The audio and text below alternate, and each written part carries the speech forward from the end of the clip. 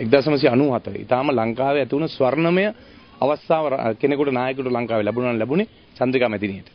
චන්ද්‍රිකා මැතිණියට තමයි මේ රටේ 62ක් ජනතාව ජනාධිපතිවරණයක වැඩිම ඡන්ද ලබා දීලා තියෙන්නේ. එදා අරගත්ත ඒ ජනවරම අවුරුදු 11ක් යනකල් මේ රටට සත පහක වැඩක් කරන්නේ නැතුව රටේ බැද්දගානේ සංජීවලා පාලනය කරපු පාතාල ලෝකයක් මේ රටේ තිබුණේ. ඒ යුගයට නායකත්ව දුන්නේ චන්ද්‍රිකා බණ්ඩාරනායක මැතිණිය. ඒ වගේම මේ 2000 ව්‍යවස්ථාව අපි දන්නවා කොහොමද ගෙනල්ලා අවසාන වෙලාවේ එතුමිය තමන්ගේ බලය ආරක්ෂා කරගන්න ඒකට අලුත් වගන්ති ඇතුල් කරලා 2000 ආණ්ඩුක ව්‍යවස්ථාව රටට තිබිච්ච නිර්මලම අවස්ථාව නැති කිරුවේ ඒ ආණ්ඩුව තුල.